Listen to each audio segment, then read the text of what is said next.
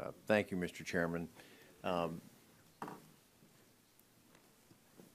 I feel in many respects like a fish out of water on this. Um, uh, I go back 40 years ago when Sam Ervin was in the Watergate thing and he, uh, uh, hearings, and, and he said, I'm just a country lawyer. Um, And he had made some fairly profound remarks. Um, Well, I'm just an engineer, uh, and I'm dealing with something that's a medical and a legal issue more than anything else. So I'm, I'm uh, really enjoying the conversation here with it, but um, I, I'm- caught with some of the discussion that we seem to be, from my perspective, um, more the ends justify the means.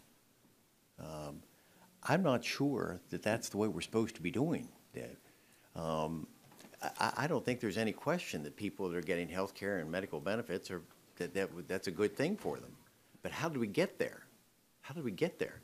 I mean, I, I, I, I made some mental notes to myself about food. Um, we could rush food to market, but if we bypass the FDA in the process to make sure that the food's approved, it was supposed to get to market, then we shouldn't do it. But they benefited from it. Same thing with medicine. We have a lot of medicine that could help people, but we need to follow the process to make sure that it's appropriate for them. I, I, I'm, I'm lost with this. I, it, it, it just harkens back again to the same thing we heard uh, a, a year or so ago. The, uh, the administration saying that he had no authority. He said it 22 times. I have no authority uh, to deal with this immigration issue. But then he just went ahead and did it. Uh, I, I, I know that back uh, uh, during the testimony, they said that they, that there was a request, that the president put in a request for appropriation, just like he did on immigration. He was, he was, he knew he needed to have authority to do it. Well, he asked for authority for appropriations, but it was denied, but he went ahead and did it anyway.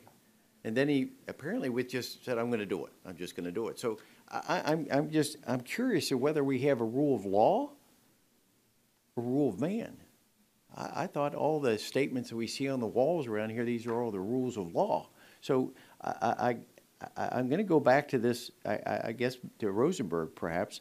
Um, If this, if Lazarus is right and this thing gets overturned, where do we go? Have, have we just opened the, the gates uh, to lack of control? Is there something in the appropriation process that we should be doing to prevent this from happening? If it's overturned, if it's upheld, then I think we're going to be okay because it's been, it's now, it appears it will be clear you can't spend money that's not been appropriated or authorized,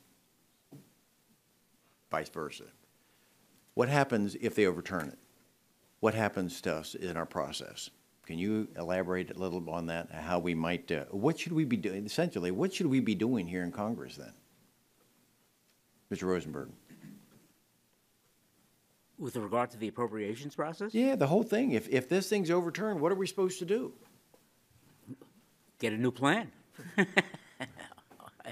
Get a new what? Pass laws. If, uh, if, if, if, if the problem is uh, there wasn't an appropriation and you think there should be an appropriation for it, pass it. But uh, uh, you have to have a plan and you have to have, you know, uh, the votes to do it. Okay. Mr. Miller, uh, same, same question.